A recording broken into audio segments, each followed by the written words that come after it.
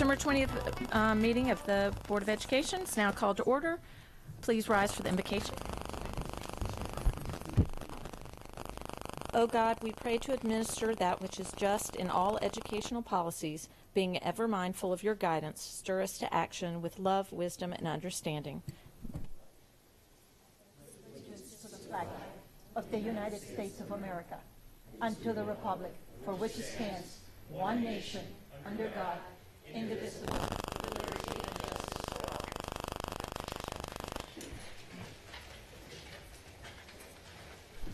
Item 2.03 is approval of the minutes. Oh, Mis- Mr. Grannon? Uh, Yes, Madam President, on page nine, uh, there's an omission that I like reflected in the minutes. It's the first full paragraph, and it says, Mr. Grannon said that he can understand both sides of the issues.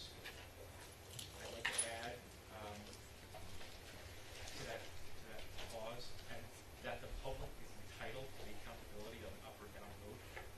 As you recall, I think I made that pretty clear. That's probably reflected in the tape on page nine.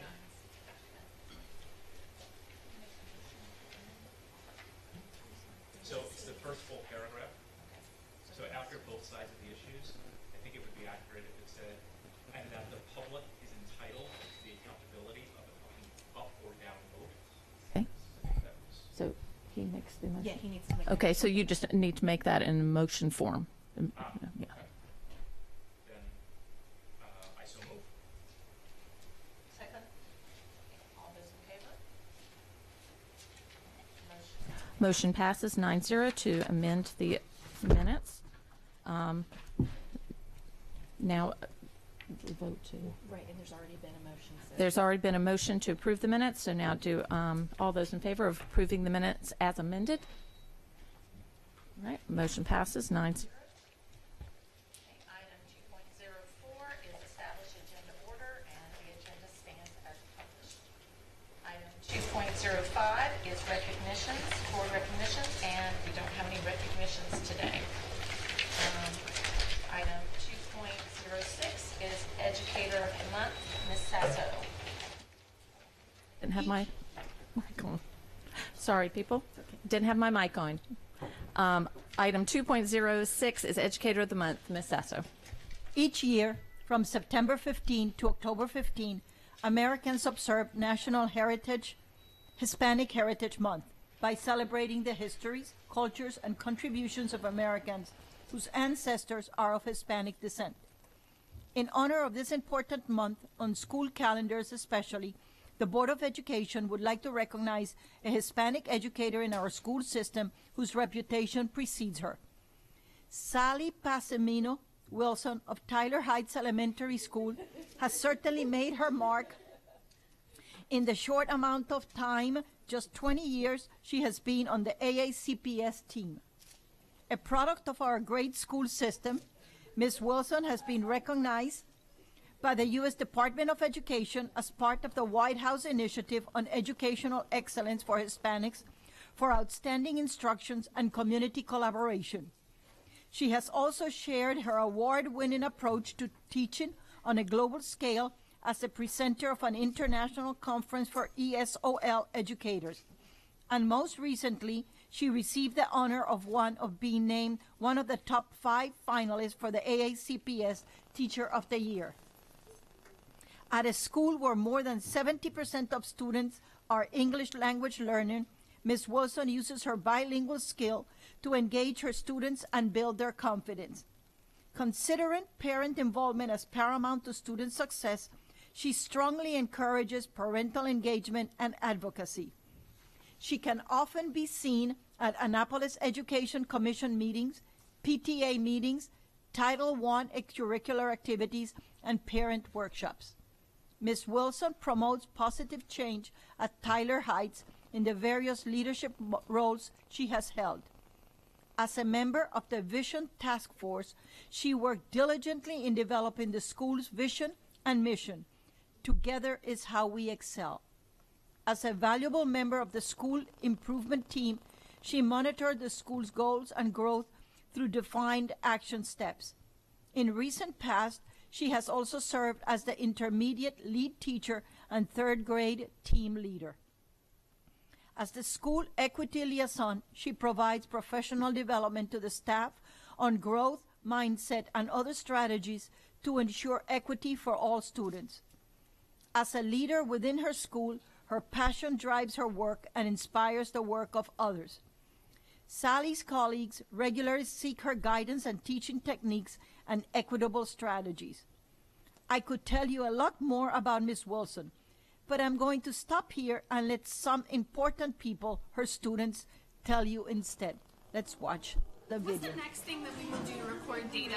Miss Wilson is an awesome teacher because she's very nice and compassionate to other students. One really cool thing about Miss Wilson is she's funny and kind and and helpful to others. Mrs. Wilson make me smile by saying funny jokes in third grade, and she always make me smile. She um does she teaches really cool things.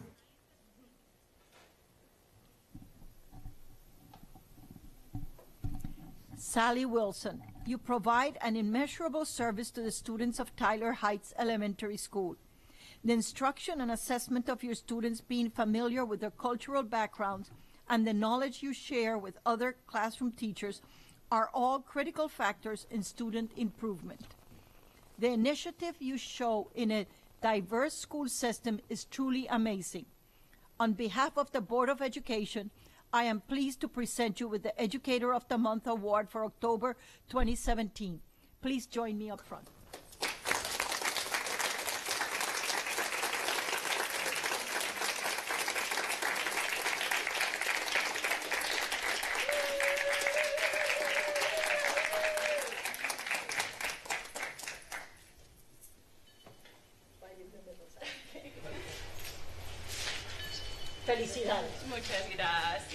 Congratulations.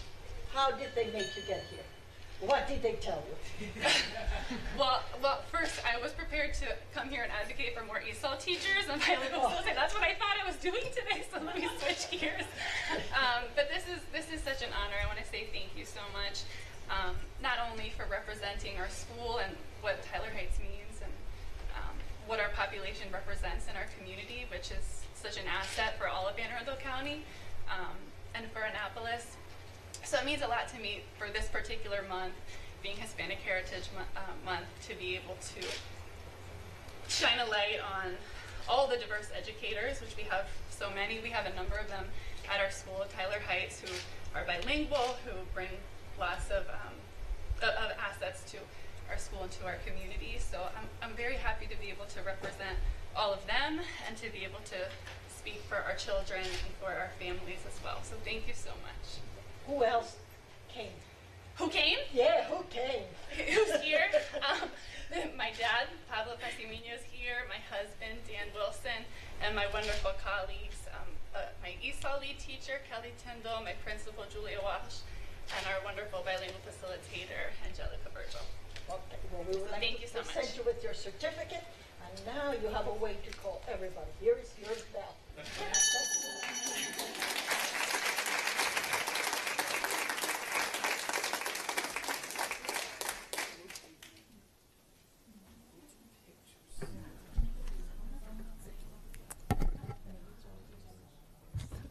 All right. Item um, 2.07 is school and community highlights.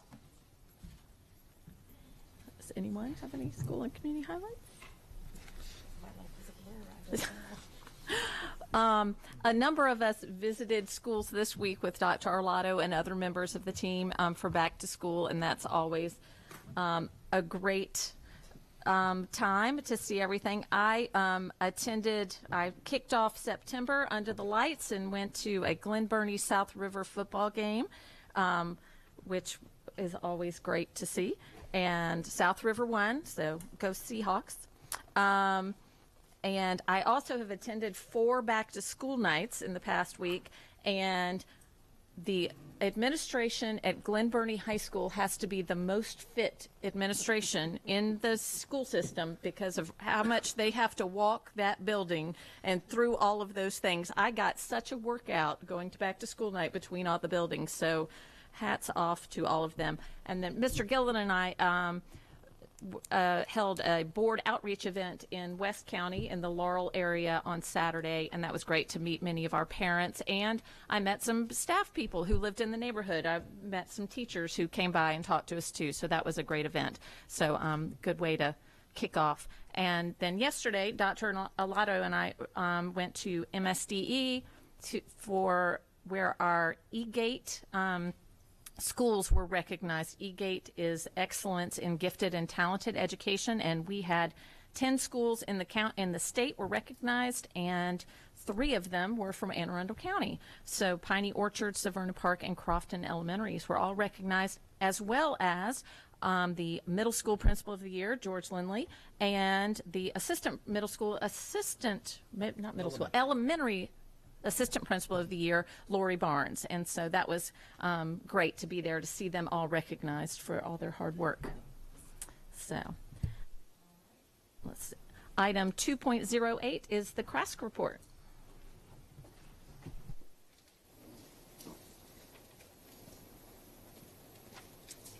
Good morning, President Hummer, Dr. Arlotto, and other board members. My name is Julia Paula, and I'm a senior at Annapolis High School, and I am the Chief of Staff of the Chesapeake Regional Association of Student Councils. I am pleased to report that CRASC is back on our normal routine of Wednesday night meetings here at Central Office. There's no meeting this evening because of Rosh Hashanah, but we are back on next week at 6:30. So far this school year, attendance has been great. We're seeing a record number of middle, middle school students uh, this year. Younger teenagers are a welcome sight at CRASC meetings. We aim to represent the best interests of all students in the county, so the contributions of middle schoolers helps us consider the experience of those who aren't currently in high school. On Friday, September 29th, members of CRASC executive staff will be attending the SADD Student Leadership Conference at Anne Arundel Medical Center. We're looking forward to this event for student leaders from various school chapters of Students Against Destructive Decisions. We will be presenting a workshop on legislative advocacy and political change. Historically, CRASC and SADD have partnered to help address youth issues relating to substance abuse, traffic safety, and mental health issues. The Office of Student Leadership is currently accepting applications for the Maryland General Assembly PAGE program. Paging is one of the most popular and competitive programs that we offer. Ten students and two alternatives are selected for this program from dozens of 12th grade applicants. The brochure and application materials are available through high school social studies departments, counselors, and on the CRASC website at crasconline.blogspot.com. That's all I got. Have a good day. Thank you. Okay, we will now take a brief recess to, the, to have pictures taken with our Educator of the Month. So we'll be back in just a couple of minutes.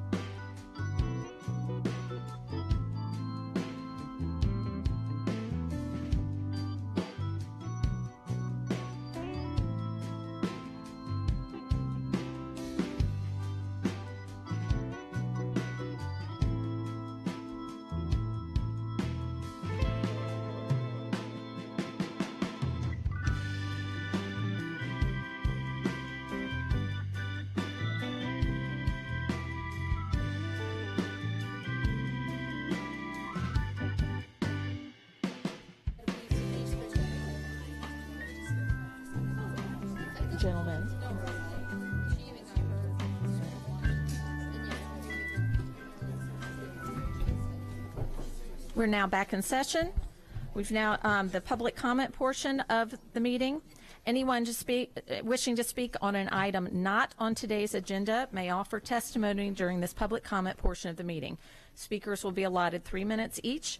The board asks that comments remain civil and appropriate for the various audiences that may be watching or viewing this meeting. Student-specific and personnel matters are confidential and cannot be discussed in this forum. This time is intended for speakers to voice their opinion and not necessarily as a question and answer period. Speakers may pose questions, but answers will be counted toward the three-minute allotment. For the record, please give your name before speaking, and handouts should be given to the board assistants. Um, I will, uh, we have one card for today. Um, Sarah Lacey.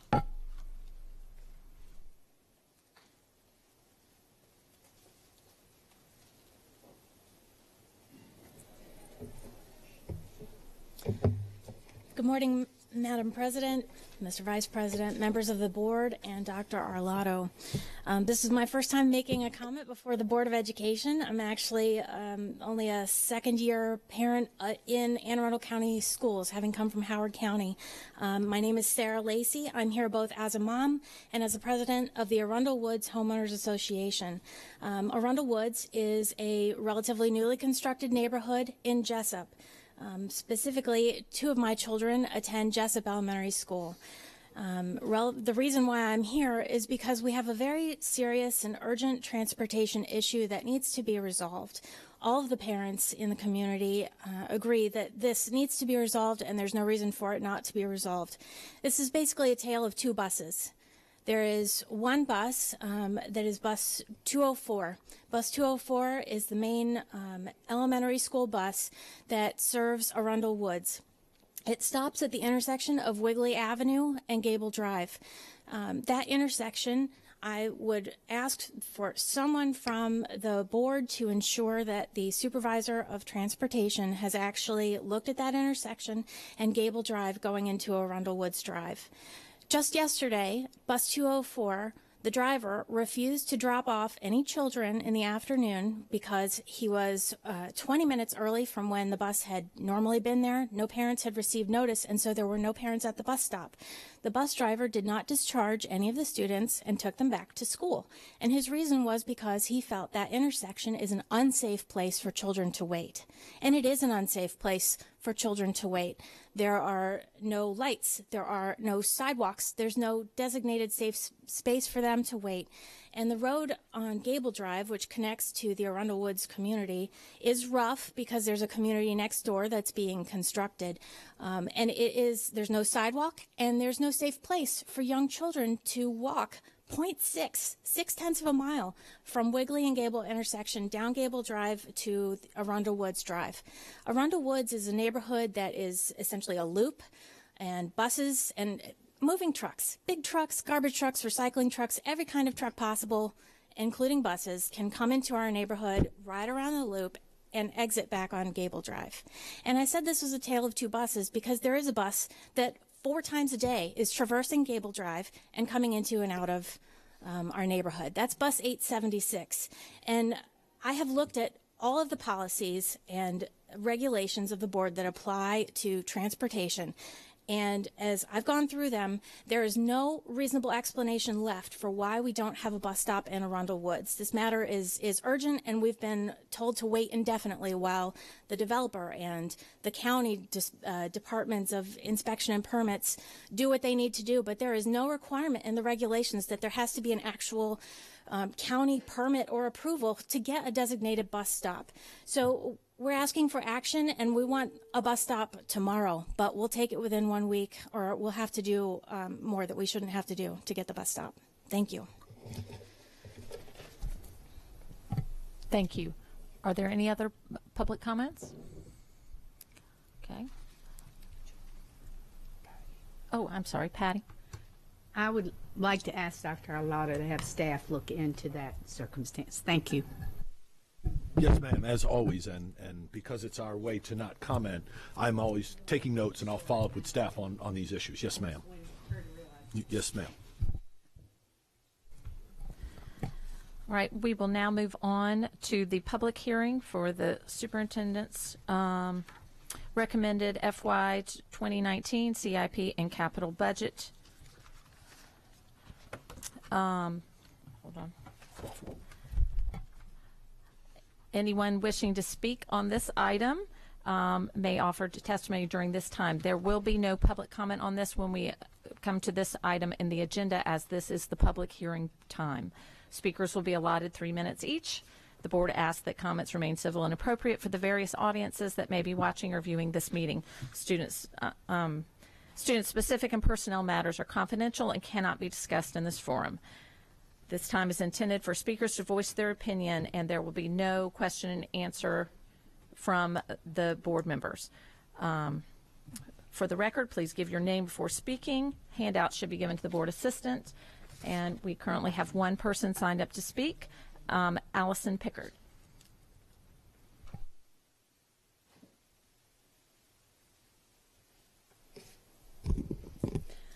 Good morning, President Hummer, members of the board, and Dr. Arlotto. My name is Allison Pickard, and I'm the proud parent of three AACPS Awesome students in the Glen Burnie cluster. As you move to vote on the FY19 capital improvement budget today, I would like to share some thoughts with you. Last night, at the Richard Henry Lee Elementary School Back to School Night, the school community recognized Judy Van Horn and Melissa Phillips for their volunteer and advocacy work over the last decade. Last spring, the Glen Burnie Rotary Club recognized Kristen Etzel and Judy Van Horn for advocacy work on behalf of their schools as well. Advocates like Van Horn, Etzel, Melissa Phillips, Rachel Jennifer, Jennifer Brienza, and countless others, including students, have been working tirelessly in the Glen Burnie and Old Mill school clusters to move their schools forward in this complex process of construction funding. They have sat in this room in their red and blue shirts and gathered crowds at county level hearings as well. However, they've been told the best way to advocate for their school is to become the biggest cheerleader for the schools ahead of them on the list. Really? These advocates are now fighting for much needed school construction renovations that their own children will not even benefit from anymore due to these projects being pushed out farther and farther every year. So, with all due respect, I think it's time that we all put on our red and blue and pick up the fight for schools like Richard Henry Lee, Quarterfield Elementary, Rippling Woods, and Old Mill High School. These schools are not only on the top of the current priority list, but have been on the top of priority lists since the MGT's first study in 2006. Students and parents in District 2 have watched as other projects get forward funded by the county while their schools are left to languish on the list. In fact, 12 out of the 23 schools on the current priority list are in the Glen Burnie and Old Mill clusters. Families at Richard Henry Lee were finally presented with the revitalization, revitalization plans just this past year. Is their funding safe this year? Will construction really start next fall? Old Mill School construction advocates have watched their funding bounce around in this CIP process from FY18 to 19. It was pushed back to 2021 last year by the county executive, and this year it's back for y'all to vote on for 2020. The land for the new high school has been purchased for a new high school, but when will it be deeded to the school system? You could make a bold move this morning and bring funding back to FY19 for some of these schools. But no, no matter what happens, I would ask each of you to put on your red and blue shirts and become the cheerleaders for these projects.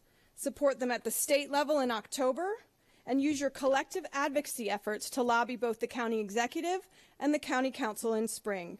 Join the Glen Burnie Old Mill Cheerleading Squad. And if the community really wants to recognize and honor these parent student advocates, fund their school construction projects. I can assure you they'd rather suit up in their red and blue shirts for Friday night football games and skip public hearings like these. Thank you. Thank you, Ms. Pickard. Are there any other um, public comments on the CIP FY 2019 CIP? Public hearing is now closed. Items 5.01 through 5.03 are consent items, award of contracts. Do I have a motion to bundle the, these and move them from information to action? So moved. Second. All those in favor? Okay, motion passes. We now have an action item. Dr. Arlotto, your recommendation. Yes, ma'am. I recommend that the Board of Education approve contracts as listed on today's agenda, 5.01, 5.02, and 5.03. Okay. Are there any board questions or comments? Okay. Is there any public comment? All right. So, um, all those in favor? Motion passes nine zero. All right, item 6.01 is administrative personnel appointments, and there are no appointments for this meeting. Item 6.02 is the superintendent's recommended FY 2019 capital budget, six-year plan, and state capital improvement plan. This is an action item. Dr. Arlotto, your recommendation. Yes, ma'am. I recommend the Board of Education adopt the FY 2019 capital budget, six-year plan, and state capital improvement plan.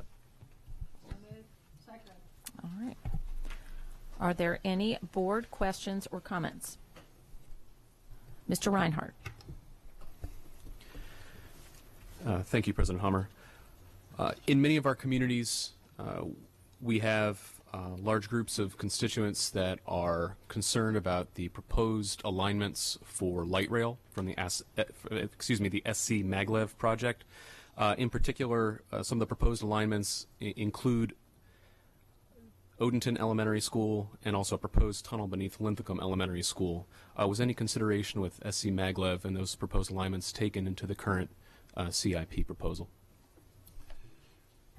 For the record, Alex Szachnowicz, none of the current projects uh, impact either of those two schools, so the answer to that is no. However, we continue to monitor the proposed hearings that are going on uh, facilitated by the state, so we're continuing to assess the situation, but there is no cross uh, path between the CIP and those projects. Ms. Korbelak. In the CIP FY 2020, um, the grand total of all categories is 141.2 million, which is about 74K less or 74 million less than the year before in 2019. I'm wondering, um, should we be sliding some things from FY 2021, which is $200 million price tag, over to 2020 to sort of balance out the figures, perhaps um, specifically the Mountain Road Corridor Elementary School design, since that part of the, the county seems to be burgeoning with growth? Well, that's certainly uh, possible, and the board is certainly at liberty to do that. One of the issues has to do with uh, the compounding effect of, of sliding projects backwards and forwards. Uh, if you if you go back to the board budget that was uh, adopted as approved by the county council this past year, you noted there were a number of projects that were not funded, including uh, or fully funded, including uh, Edgewater, Tyler, Richard Henry Lee, Quarterfield, uh, Hillsmere, Rippling Woods, et cetera, that are projects that are lined up ahead of the Mountain Road corridor. So they were zeroed out by the county government's budget. Of course, we're trying to continue to improve on that situation, but uh, there has to be a balancing act between what was approved by the fiscal authorities last year in terms of what they're signaling in the long-term plan and our plan. So there is a potential for some slippage of our 19 request into 20 that would move the FY20 request up.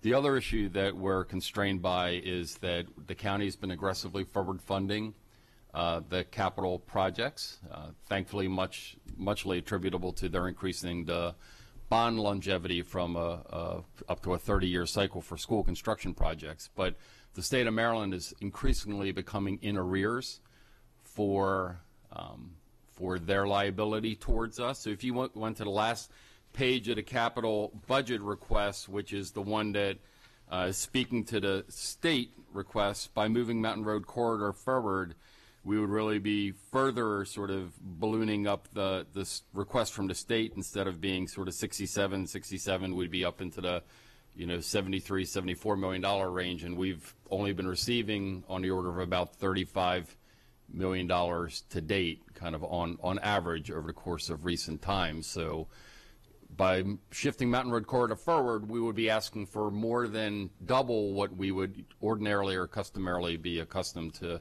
receiving from the state of Maryland. So I, I think it's absolutely, you know, at the discretion of the board, but I think by pushing it forward, it's going to compound the um, backlog of county funding potentially, and by pushing it forward in the other direction, it will compound the increase of the unfunded liability from the state government to the CIP. So it's really more about balancing the state fund funding than trying to balance the total, grand total. Correct. Because we're, you know, again, we are in catch-up mode uh, because of our aggressive forward funding on the county side, and thankfully so. These projects that we're under construction right now, you know, wouldn't even be going had it not been for the county to forward fund it. But at some point in time, that's going to stretch the capacity of the county to continue to do that. We've got to sort of let the state catch back up with us so that the county then is positioned to forward fund again. It's it's more of a liquidity question is the way I'm I'm sort of couching it, madam. Mr. Grannon. Is it is it possible to estimate the uh, financial impact on a project um, of the requirement that a um, prevailing wage has to be paid as part of the construction? So we've been tracking that as well as officials uh, affiliated with the state, and we are seeing, uh, for budgetary purposes, we're seeing about a 13.6, 13.65 uh, percent uh, factor that could be attributable to that phenomenon. When you say you've been tracking that, is that is that something that is uh, publicly available? And where I'm going with this, let me kind of give the explanation for the question. Is I guess as I understand it, that's a state law, but if the public is going to be able to um, make their views known, whether they think that's a good idea or not, to to their uh, elected representatives, they need to see the deltas. And I'm wondering, um, is that kind of done on a more informal basis? Would there be a, a formal way that an estimate could be um, assigned to a specific project to say, this elementary school that we're proposing is going to cost $50 million. If we did not have the prevailing wage requirement, and we're not saying whether we should or should not have it, we're just giving the public the information. If we did not have that, we estimate it would actually only cost whatever 50 million is minus 13.6, I don't know, 45 million, 43 million. Is that something that we could do per project? So many of the uh, jurisdictions, including Anne Arundel County, have been doing what's called side-by-side bidding, which is bidding the same project, uh, same set of plans, same set of specifications, and asking the contractors to bid it both ways with prevailing wage and without prevailing wage.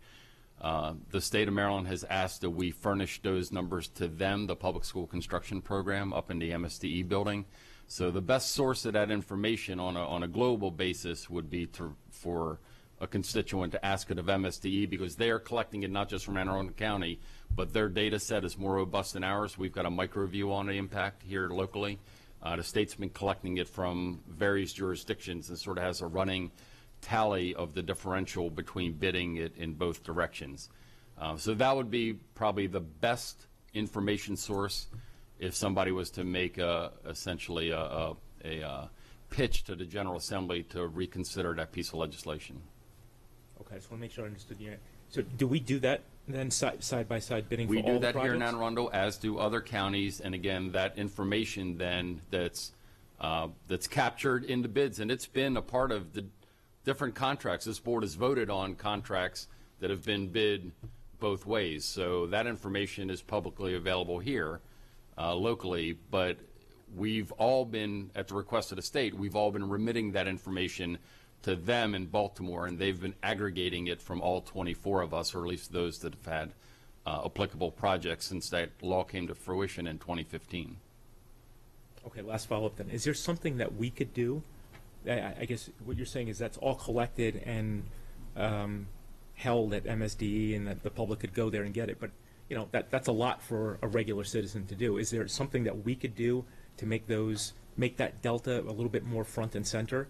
Again, not weighing in on whether it's, you know, good as a policy matter or not, but just to make the information available to, for example, the people that come to these meetings as this, as this budget goes through the process. certainly if anybody, you know, asks us for the information, we would reach out to the state and be able to get that uh, on their behalf so that they weren't shopping around, you know, various parts of the state agency. I mean, we know the information here locally. We don't know what the information is uh, on a more broad basis. Um, as the states goes through its budgetary process this upcoming year, uh, I would suspect that their data set has been enriched yet further by real live bids that have occurred in the last 12 months. So uh, we'll probably be able to get more real-time information out of the state as we go through their process in the months ahead. Okay, well, I don't know whether this needs to be a motion or it's something that can just be directed and done, but where I'm going with this is I think it would be good if our materials made it front and center so that everyone could see, again, without us weighing it, because we're not the legislators, um, to make the decision whether that's the appropriate, you know, thing to do under the law, but so that everybody can see it every step along the way. This is how much this is costing. Again, when those projects are bid and when the consent agenda item comes before you, those numbers are part of the attachment. So they're already a matter of the public record and they're part of the vote for a project that is bid side by side. So the public already has access to that information via the agenda item that's publicly, you know, posted, advertised, et cetera. I'm not sure to, to what extent we could further elaborate upon that. What, what we could But do. we can certainly work with the superintendent to, to further that. Well, what we could do, and again, this is just a matter of making things a little bit more user friendly, and you know, um, if it's possible. So I'm looking at a sheet of paper that has, you know, for example, a total all categories, two hundred and sixteen million dollars. What I'm proposing is that all of these sheets of paper would reflect, okay, two hundred and sixteen million dollars, you know, under um, the prevailing wage requirement. Here's what we estimate it would be without that. So that would be presumably thirteen point six percent less. Ms. Birge? Um, I'll have another question in a minute, but this is in re- relation to what he's talking about. Um, I mean, I think that it would be m- make more sense to do it on the contracts themselves rather than the proposed budget because the proposed budget uses the state um, the state mandated per square foot dollar amount. So you know, you you don't necessarily change it based on you know whether you're using prevailing wage or not.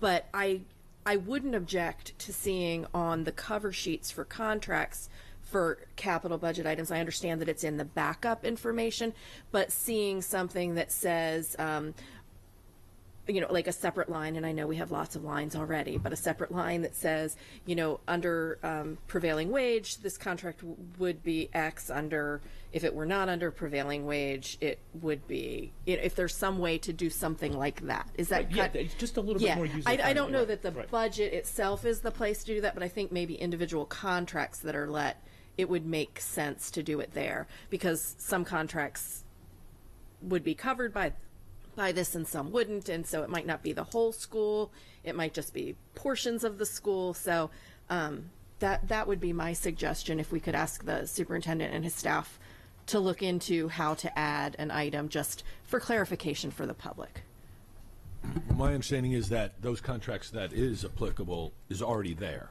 right? So that information that goes to the board and then is posted publicly, that information on prevailing wage versus non is there, correct?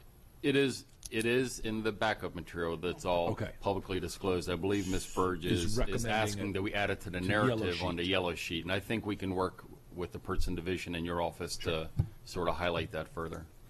I like Ms. Birge's idea. If I could just go one step further, what I would like, again, just to make it a little bit more user friendly, so that when we're at the end of the entire budget process, whatever number gets approved, finally approved, that number has next to it, right next to it, so everybody can see it, what that number would be if we did not have that prevailing wage requirement. And that would just re- require tallying up all those contracts, the delta between them. That's, that's where I'm going with this. You know, I guess what I'm saying is, the capital is not going to sit down and count up all these contracts and figure out, well, we- we know the delta for this particular school is $10 million. What I'm saying is, as part of our function, I would like to be able to present that number so that the capital can put that out there and so that citizens can see that. And if citizens agree with it, they can say, hey, we think that's great. If they disagree with it, then they can call up their delegate and say, hey, what's going on here? We're paying $50 million for this school and we should only be paying $44 million for this school. That, that, that's all I'm saying. So your idea just, which was an improvement on mine, just one more step so that the aggregate is there at the end. I, I, I think though that would be a post-contract exercise, not a Right, that's budget fine. exercise. That's fine. Okay, I just wanted to make sure we were distinguishing between the two because you kept saying on the budget you would want it presented, but it's when you budget you haven't let the contracts yet, so you don't know yet what those bids are. So it would have to be after every contract had been let. Then you could say, here are our final results on such and such a school. But you couldn't do it prior because you don't know exactly yet. So I, I, that's why I think that, you know, perhaps, you know, the superintendent and his staff can work and come back to us maybe with how they think they could best present this information to um, help make the public more aware of what the costs are and what the implications of existing law are. And to clarify something that you said, Alex, for many, many con, not every single contract in a school construction project falls under prevailing wage. It's only certain amounts. Correct. It's, it- it's only applicable to certain elements of projects. uh, And clearly, if it's a locally funded project, it's not applicable at all. So it's uh, select elements of state eligible funded projects. So, so the entire, say a school is fifty million dollars, not all fifty million of that falls under prevailing wage, so it would be portioned, so. Correct. So for example, uh, planning design activities, furniture, fixtures, equipment activities, uh, testing, inspection activities. There's a lot of elements of a project that prevailing wage does not apply to. Okay. So, uh, Ms. Birge. Okay, on a different subject. um, I have a question about the the Old Mill series of projects. Um, I know that really getting started on these, I believe, is somewhat dependent upon the purchase of additional property so that we can start moving the schools. Um, can you tell me about the status of the purchase of Papa John's farm by the county? Is has that gone through yet, or are we still waiting for that to be finalized? We're waiting on it to be finalized. The- Okay. It's, it's under final, essentially final legal review. Uh, Okay. Once that is done, the property closes and then is recorded in the land records of the county. Uh, Is there an anticipation as to when that might be, and how sure we are that it will happen? They're actively pursuing it, and I would, I would believe it'll be imminent. I don't have an exact date, Okay. but it's, it's really down to the final uh, legal nuances. Okay, but so a lot of the things on this on this budget are dependent upon the county acquiring that property on our behalf. Correct, but remember, the budget will come back to you uh, in December when the superintendent uh, presents his combined operating and capital budget, and I would certainly anticipate there would be specificity to your question by that point in time. Thank you. Are there any other board questions or comments? All right, all those in favor? All right, motion passes nine zero. Okay. Item six point zero three is the um, FY 2018 Comprehensive Maintenance Plan. This is an information to action item. Do I have a motion to move this from information to action? All those in favor? Okay, Dr. Arlotto, your recommendation. Yes, ma'am. I recommend board approval of the fiscal year 2018 Comprehensive Maintenance Plan. So, second. Okay. All right, are there any board questions or comments? I have one question. I had a question. How many underground tanks do we still have in our schools? just because underground tanks. Yes, because it mentioned something here about the maintenance of underground tanks. So, Certainly. For, again, for the record, Alex Shackno, I don't have an exact number at hand, but, uh, you know, the board members simply need to realize that the vast majority of the county actually does not have public gas service. Um, many of our peninsulas do not have even gas lines run down them by BG&E, et cetera. So, um, you know, where we have the opportunity to run on natural gas, we do, um, but it simply does not exist in in large swaths of the county. And in those locations, uh, for example, South County, there's no gas service anywhere down in down in my half of the world. Uh, so we have to run on uh, number two fuel every, everywhere there.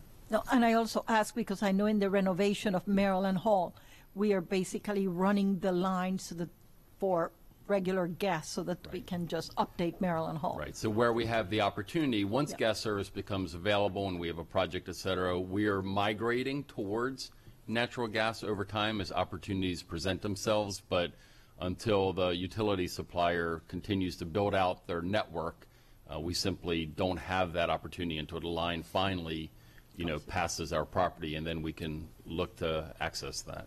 Thank you, Alex. Mr. Reinhardt. Thank you. Uh, so in reviewing the report, uh, I notice on page 12 of the report, uh, the Preventative Maintenance Office, since its inception in 1994, has undergone a 58% reduction in staff, leaving equipment at risk of increased maintenance needs in the future. Uh, just to help me better understand, what have been some of the leading causes to that reduction in staff? Budget cuts. Budget cuts and decisions by this Board of Education over two decades to continue to prioritize positions in the schoolhouse, the teacher, the workforce, et cetera, uh, over other positions.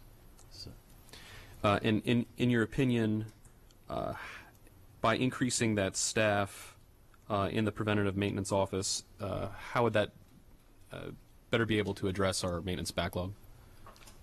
What it does is it allows the uh, preventive maintenance activities, things like lubrication, belt changes, filter changes, et cetera, to happen on a more timely basis, which would extend the life of equipment. So if you have a piece of equipment that uh, is expected to last 15 years, for example, uh, if you if you have a robust preventive maintenance program and you treat it well, you can have that 15-year piece of equipment actually last 17, 18, 19. You get more years of life out of it. Uh, if you don't perform the requisite uh, preventive maintenance activities, then you are at risk to that piece of equipment having a shorter life than it would have otherwise been anticipated to have had. So that's that's the correlation between uh, longev- expected longevity of an asset versus the preventive maintenance regime applied against it. All right, thank you. And in terms of employees, uh, how many people does that 58% represent? Hold on a second.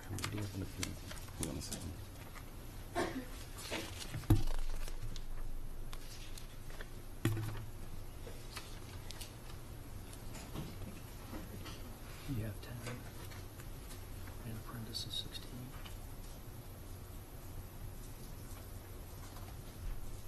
So there's, on the uh, preventive maintenance team, there's currently 21 individuals, so es- essentially it would be a doubling of that. Okay. Thank you. As, as we move ahead and, and uh, consider the overall budget, that'll be an important consideration, certainly. Uh, and I just, uh, just want to make sure I'm, I'm reading this correctly. Uh, this is my first time through uh, one of these budgets.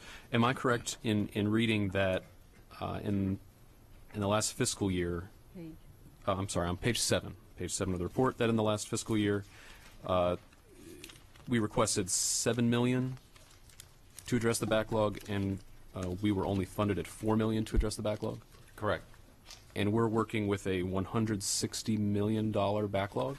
No, sir. Um, $326,612,800 backlog. So four million dollars. Uh, just just to humor me, how many years would it take at that current level of funding? So that's not the only dollars that apply to it. Is uh, their funding schedule there on page seven? All of those dollars collectively are applied against it, not simply maintenance backlog. The maintenance backlog item tackles uh, projects, for example, that are ineligible for state funding. So you'll see just on that same funding schedule, you'll see a little further down something called, for example, uh, uh, facility system component replacement as a $20 million request. That's a combination uh, of state and about 12 million from the county and 8 million from the state. So we have more than one funding source applied towards helping us uh, eradicate that backlog. Uh, and do we have an anticipated date of when we would actually break even? Um, Decades. Likely that would not occur. Again, you know, the, the physical infrastructure continues to age and our capital reinvestment into our facilities uh, does not equal the, the rate of expiration or deterioration of facilities. So year over year, the backlog continues to increase. So for example, the back, the calculated backlog this year is about 5.8% larger than it was at this time last year. So even that seven million that was requested uh, is still a very conservative number.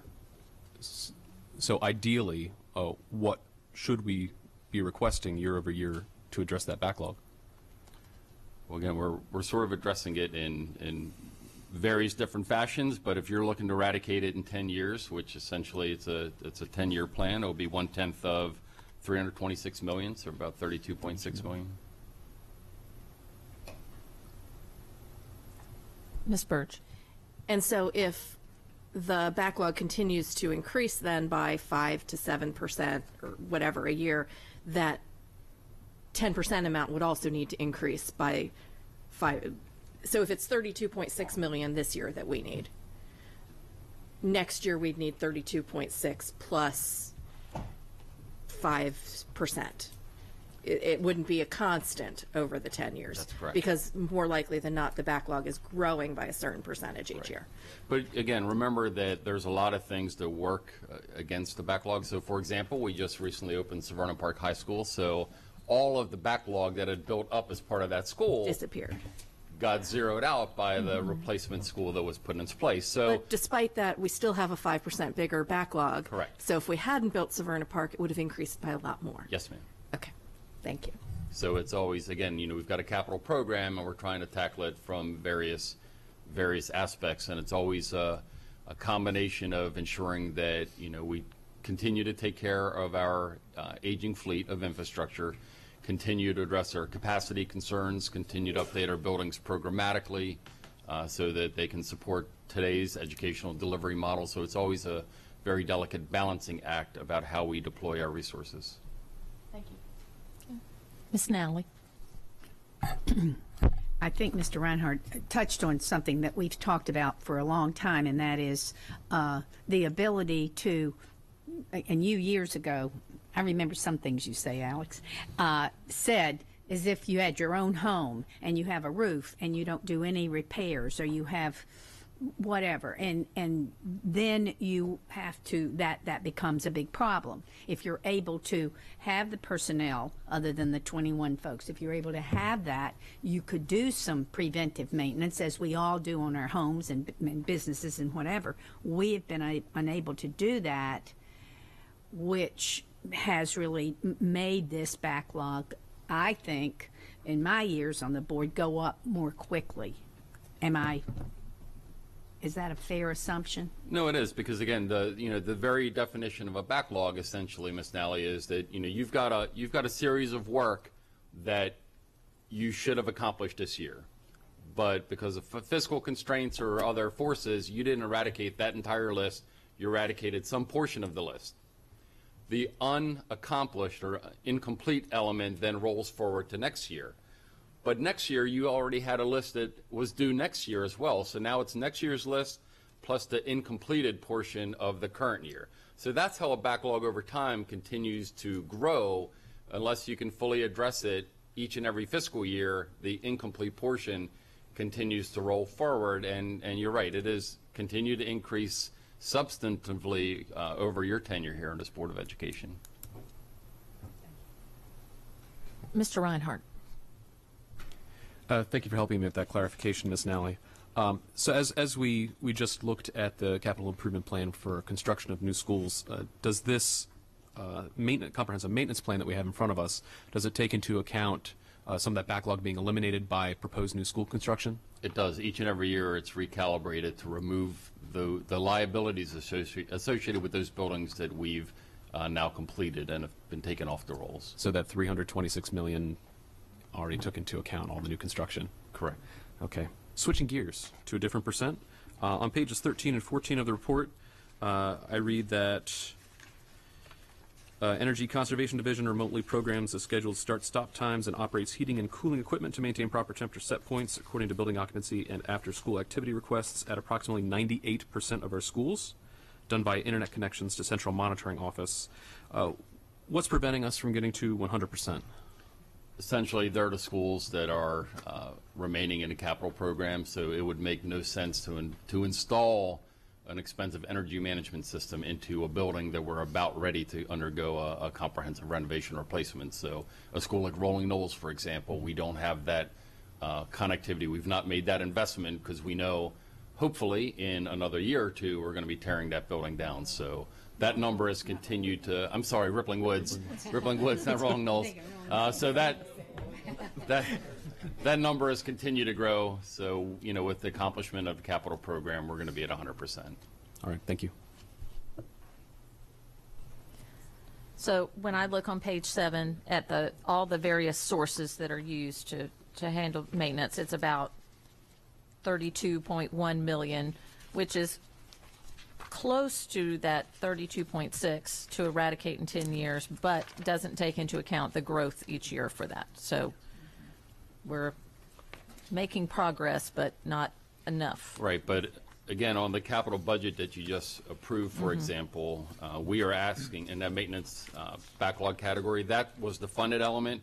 So in the maintenance backlog category, we're actually asking for 7 million, not 4. So we are requesting monies to try to, to bridge that gap to be able to structurally keep up with it. So you're, you know, your position in a, in a manner that I think we're requesting a, a fairly um, reasonable amount of funding. The question is, how will the chips fall out when the appropriation authority is granted? So, so, yes, so we've been requesting the amount to, to handle this backlog in ten years and carry, and s- with some of the increase, but we have not been funded for that amount as it comes. Correct. through. Okay. All right. Are there any further board questions or comments? Okay. Um, are there, is there any public comment? Okay. All those in favor? Motion passes 9-0. Thank you very much. All right.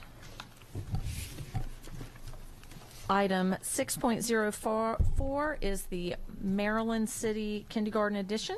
This is an information to action item. Do I have a motion to move this item from information to action? Second. All those in favor? Okay. Dr. Arlotto, your recommendation. Yes, ma'am. I'd recommend board approval of the Maryland Sil- City Elementary School Kindergarten Addition schematic design.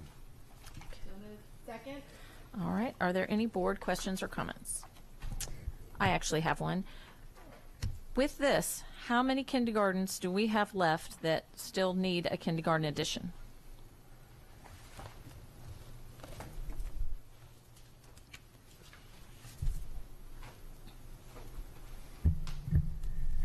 Well, with this one, we have 51 complete, seven under construction, five under design for 63.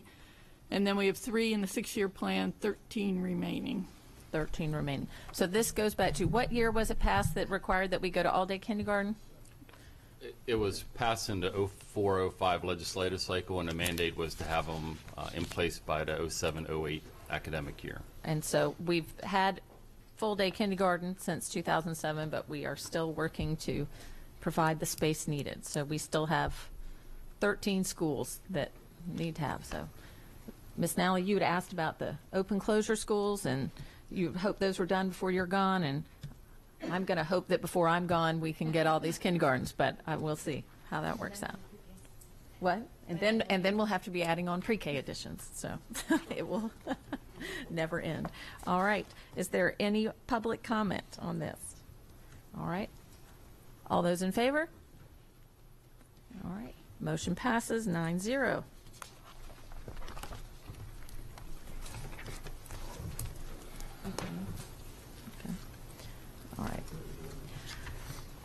Item 6.05 is an information to action item. Um, The Maryland Open Meetings Act trainee designation. Do I have a motion to move this from information to action? Second. All those in favor? Okay. Um, Just, I'm going to read this, I'm, I'm going to read this first.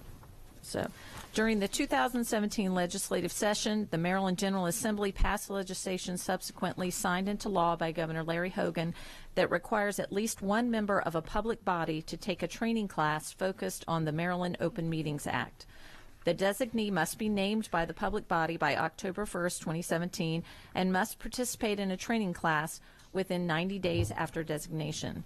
Public bodies that do not designate a representative on or before October 1st, 2017 would not be able to meet in executive session.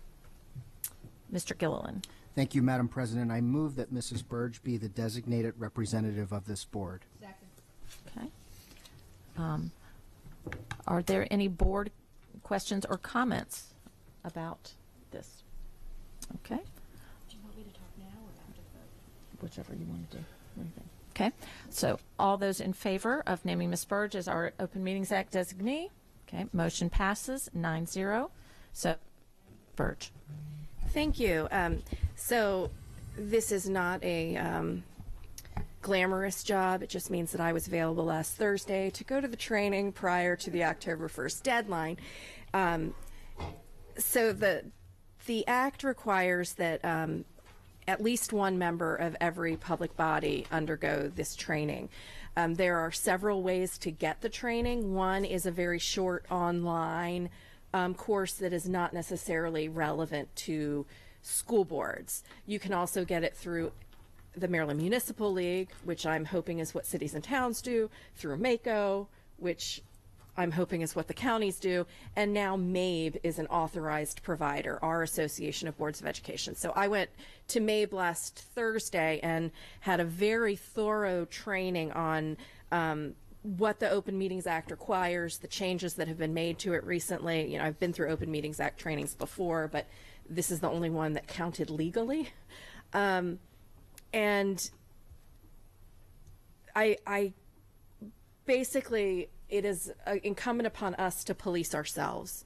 Um, which is what the new law requires. And so I'm going to be, for now, the person. We will probably have more designees who, after other people take the training, um, but for now, it's me. It was an excellent training. It thoroughly covered everything we need to know from whether something um, is a meeting at all to whether it can legally be closed for certain things. Um, and if I am ever not here at a meeting, then we have to fill out a, a form required by um, the state. And all of those items will would be public record as part of the minutes. So um, I don't know if any of my colleagues have questions about the training I underwent. I, I know that a few people are thinking about going in November to the MABE training, um, or we may try and get some training here for ourselves. Thank you, Ms. Birge. So that concludes the um, the agenda items. Mr. Gilleland. Thank you again, Madam President. I move that the board go into closed session to conduct collective bargaining negotiations or consider matters that relate to the negotiations. Second. All those in favor? Okay, we are now going to closed session. The next me- board meeting will be held Wednesday, October 18th at 7 p.m. The next board policy committee meeting is Wednesday, October 11th at 1 p.m. in conference room 2A of the Parham Building. The next board budget committee meetings um, is today, September 20th, one af- hour after the board meeting ends, and then Wednesday, October 18th at 5 p.m. We are now adjourned.